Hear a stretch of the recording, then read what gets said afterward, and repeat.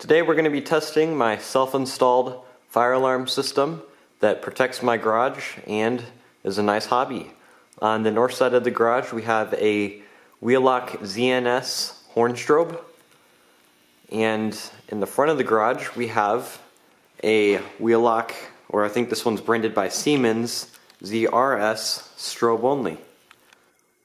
And then going down we have a Pyrotronics MS pole station. I forget the whole model, but we'll look at that when we open it up. And as you can see, this system is mocking the fire alarm system that was in one of the older schools that I went to. I did a ton of fire drills on this system and I probably got to pull the fire alarm in that school about 10 times, so I think that was really fun.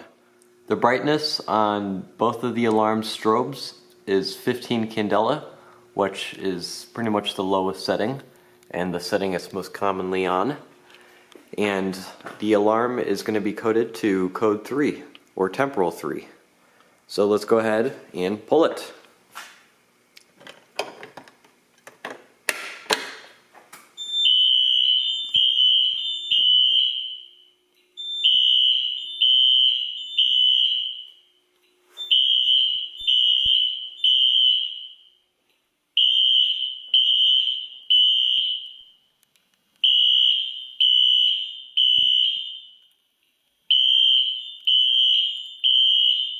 The strobes are in sync.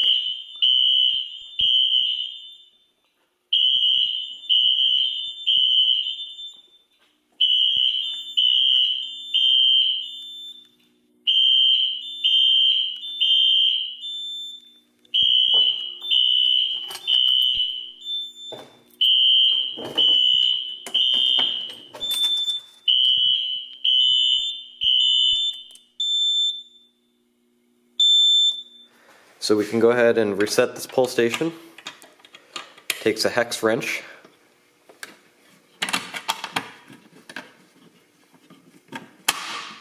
And we'll open it up all the way to see the model. This is a Pyrotronics MS-501 manual fire alarm pull station. It's double action. You just push it in here and then pull it down like that.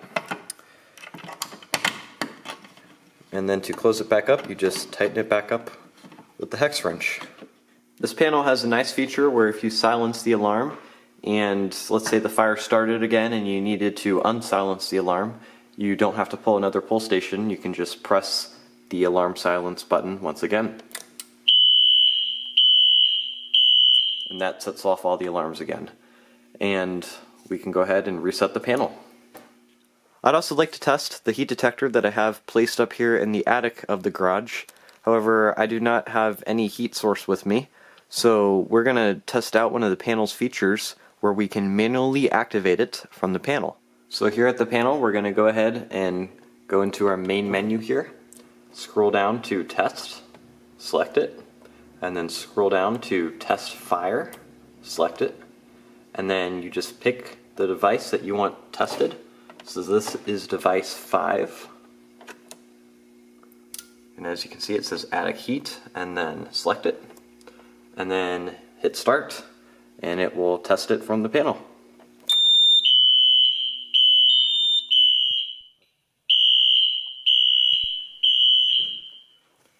As we can see up here, the red light on the heat detector is flashing, which means that it's activated and it's working.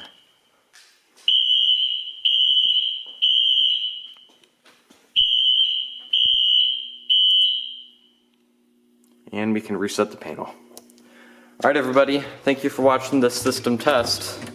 I'm trying to think of the alarms that I should put up for the next test and I have been getting a lot of requests for simplex and I think next test we're gonna do simplex so look forward to that have a great day everybody